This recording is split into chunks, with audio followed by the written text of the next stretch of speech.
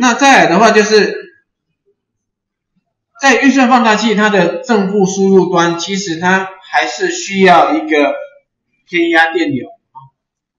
然后在这里的话，你需要有一个电流进去偏压啊。那这个电流的大小会跟它电晶体内部电路，就是运算放大器内部的电路有关的啊。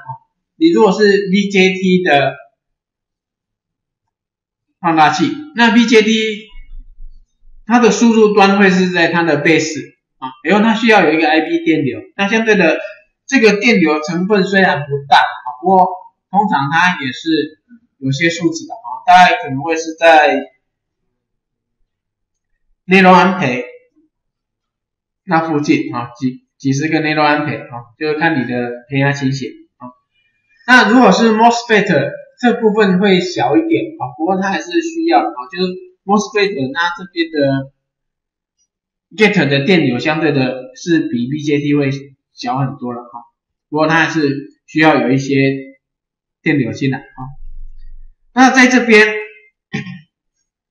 相对于一二在这里写的是 IB1 跟 IB2 的电流，那代表这两个电流，理想上我们还是希望它会是一样大，但实际上你在制作的时候一样你会有一些不匹配，所以这两个电流会有一些不一致的地方啊。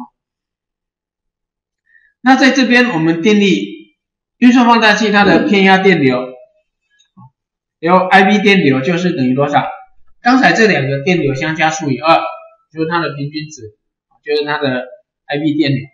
那这两个的电流的差，我们称作 offset current，跟刚才那个 offset voltage 很像，就是两边都接地的时候，你会有一个 offset voltage 啊。那在这里是这两个电流的差是 offset current，那在这里一样就是。哪个会比较大？其实你并不知道啊，所以在这边我们就取绝对值哦，因为在制作上，你如果知道哪边会比较大，那其实你就可以用制成的方式让它怎样抵消掉一些，所以这边的话，offset 的话都是一个 random 的值，所以相对的它的正负号对我们来讲并没有什么特别的意义了啊。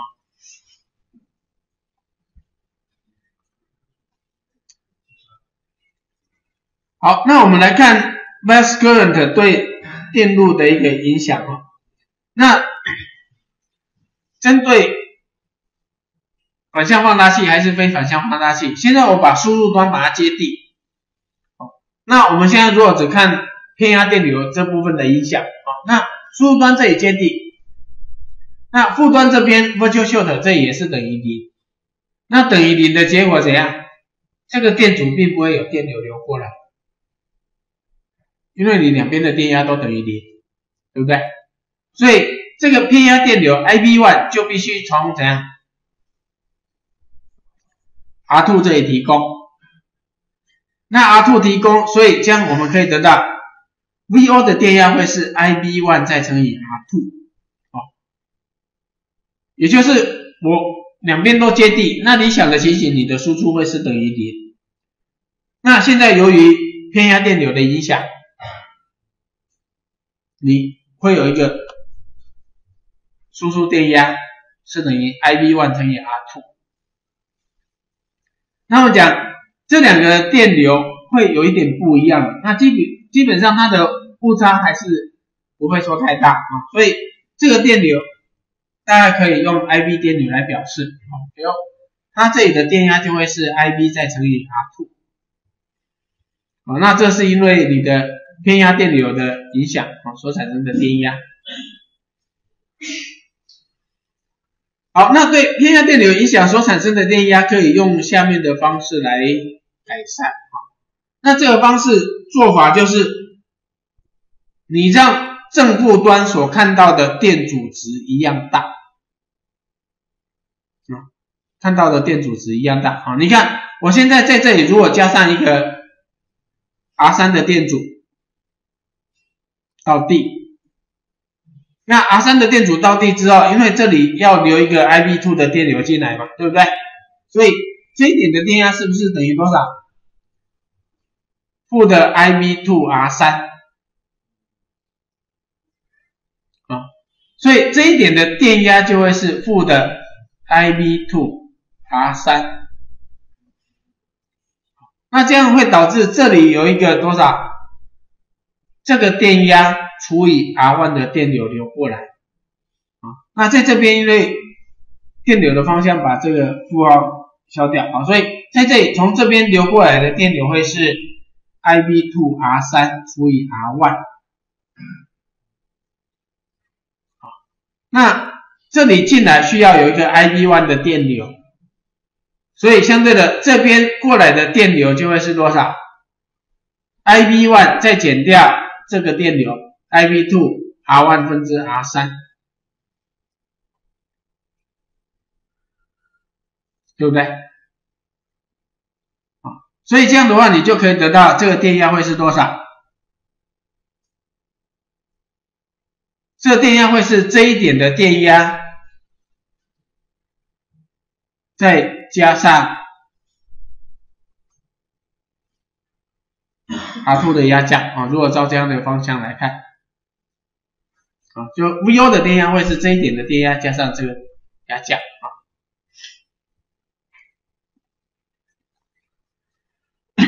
好，所以 VO 的电压会是。Ib2R3 再加上 R2 乘以 Ib1 减掉 Ib2 乘以 R1 分之 R3 啊，那现在我们如果假设它的电流一样啊，因为这里它只能抵消 bias current 啊，就假设让 Ib1 等于 Ib2 等于 Ib 啊，那上面这个 Ib1 跟 IB two 都用 Ib 来代啊，所以 VO 会是。Ib 再乘以 R two 减掉 R3 乘以一加上 R1 分之 R two 括号起来，所以我如果选择这两个相等的时候，那它会让 VO 等于零啊。那这两个相等，其实它的肯定选就是这样，R3 要等于 R1 加 R2 分之 R1 R2，其实也就是怎样，R3 等于。R1 并联 R2，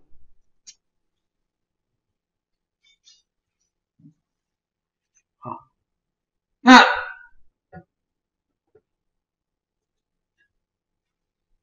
这个概念就是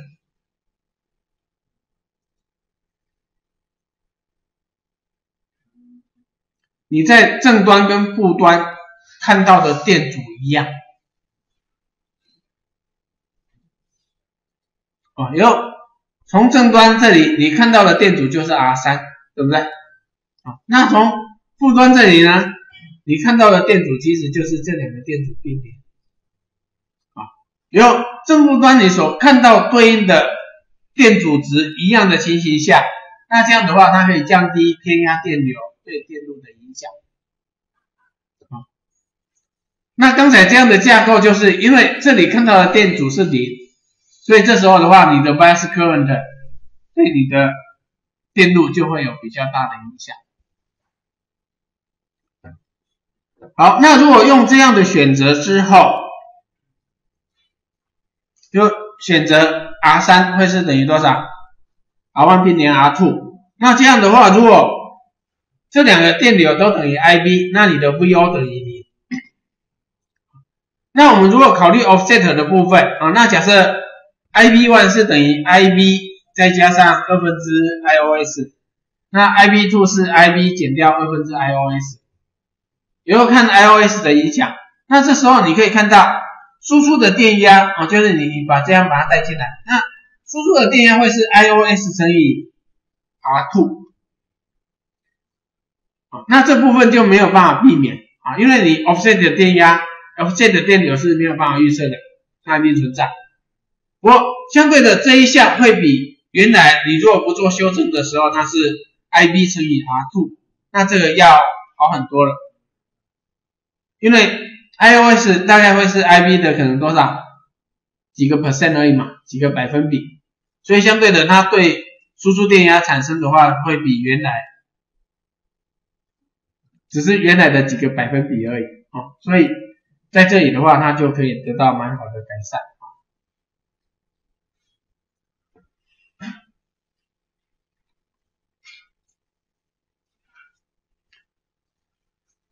好那这个是同时去抵消掉你的啥 mass current 跟 osseoafrontage 这样的一个影响。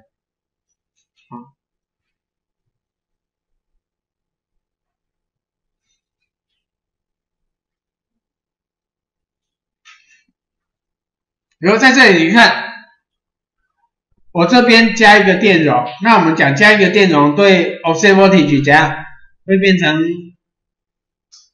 直流开路嘛？所以你的 VO 在这里只有 VOS 的成本啊，不会倍增。那 bias current 呢？偏压电流现在在这里，这里是挡掉了，所以这边变成开路。那这里看到的电阻是多少？R 三。那这边看到的电阻是 R two。所以你选择。R 三等于 R two 的时候，那一样可以降低 bias current 的影响，啊，让它只剩下什么 offset current 的部分。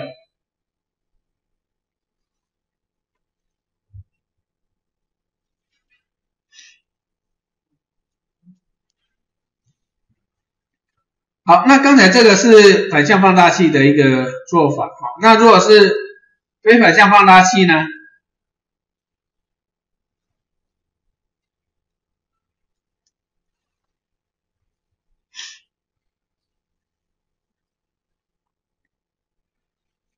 哦，那它的做法一样，就是怎样，在这边你再加上一个耦合电容进来，那一样的情形，你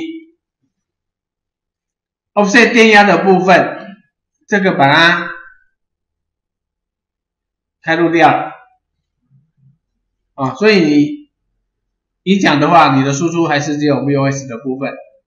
那偏压电流的部分，这两个电阻一样，所以偏压电流的部分你一样可以把它降到最低。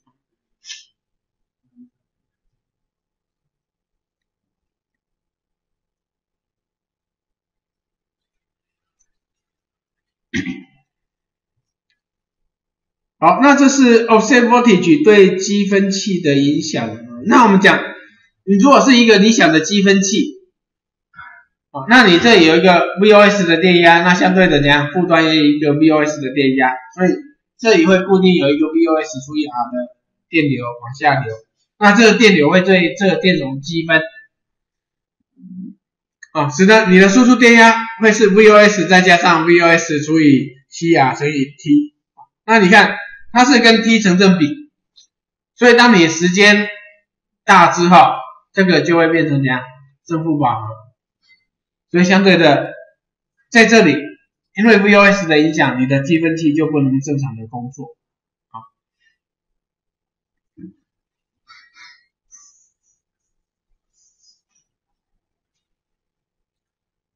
好，好，那下面这个是分析 IB 跟 IOS 的部分。那因为你现在把这两个都把它接地之后，这里进来的电流是 I B two，那这里需要 I B one 的电流进来，啊，那这个 I B two 的电流在这里会产生一个多少？I B two R 啊，负 I B two R 的电压，那这个电压跟这个电压一样，所以这里一样会有 I B two 的电流流进来，然后 I B two 乘以 R 分之 R 就 IB2，所以这边会有 offset 的 current 对这个电容充电。那一样，你会使你的输出电压 V 又会是等于多少？负的 IB2R 加上七分之 IOST。所以一旦有 T 这一项，当你时间变久了，它就变成无限大。啊，那 IOS 在这里虽然变小，但是怎样？它还是会到达正负饱和。因为它是积分，那积分你的即使很小的值。那你只要积分的时间够久，它一样怎样会到达正负宝。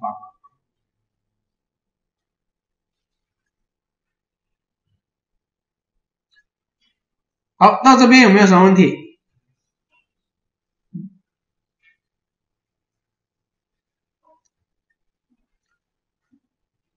好，没有的话，我们上的部分就上到这边了。那你们自己复习一下，我出一下题。